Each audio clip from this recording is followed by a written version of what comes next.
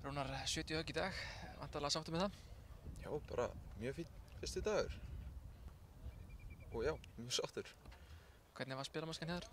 Uh, ég var að slá mjög vel allan hringin og uh, ég var svona allan framan að var ég að púta frekar, ég er ekki droslega vel. Svona með þrý pút á tvö og svona, já, var að skilja eftir óþægilega löng pút. En tveir fuglar á eitt skolli, það svona stöðuleiki?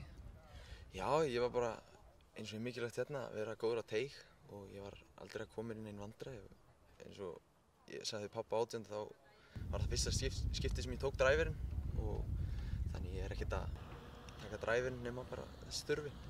Reyna bara að halda þessi leik og svona, já, nýta tækifæri þegar þau gefast. Já, það er bara einmitt að koma í sér leik og þá getur maður sótt á stöngina. Minna ef maður er á góðum stað þá er, getur maður sleið á stöngina en það er, þá er bara eitthvað rettingar ef maður kemur sér í vissin af teig. Einu vandarinn hjá þau voru á 11. braut en þar bjargaður, já, ótrúlegum fugla, eða ótrúlegum fugli.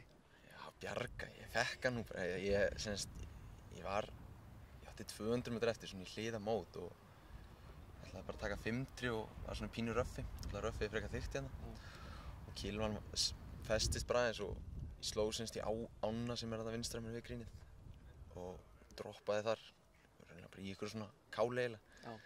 en hólaðan það, bara hann flög beint onni, þannig, já, já, hefni eða ekki hefni, ég Svona smá, svona smá bónus. Já, ég auðvitað, ég hugsaði náttúrulega fyrir höggið þetta bara koma eins og upp á grín og fá hann einhvert par og í vestalagi bóki en fekk bördi Eh, Þú ert á topparöndinni eftir fyrsta ring, það var vantarlega markmiðið og, og svona hvað hva ætlaði þér í þessu móti? Sigur vantarlega?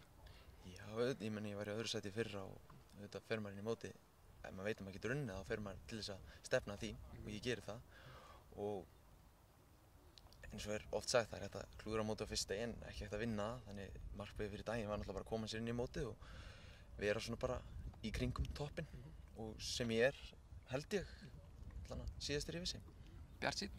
Já, bara mjög svo. Líður vel yfir öllu því sem ég er að gera. Bara slá vel aðeins að taka búkninu í gegn. Þá getum við farið að sjálflæri tölur, vonandi.